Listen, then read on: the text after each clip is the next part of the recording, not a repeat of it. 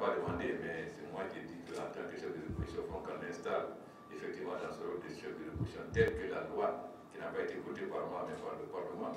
Et je fais remarquer que la loi a été votée à l'unanimité de l'opposition de la mouvance. Donc c'est pas moi, je n'ai l'idée, mais le texte a été voté par le Parlement. Donc l'installer dans ce rôle de chef de l'opposition. Il a été ministre, Premier ministre, donc il a géré. Il a une certaine expérience de la vie économique de ce pays. Donc c'est toujours intéressant qu'on échange.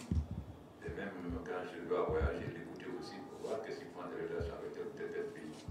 Une occasion que le chef de file de l'opposition a saisie pour évoquer les questions économiques, politiques et sociales. Par rapport à la situation économique, nous avons noté euh, les conditions difficiles de vie des citoyens.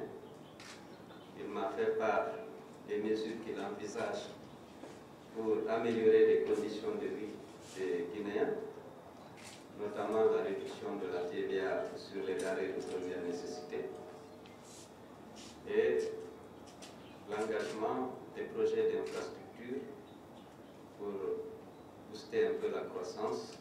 Nous avons décidé de multiplier les rencontres entre le chef de file de l'opposition que je suis et le président de la République qu'il est.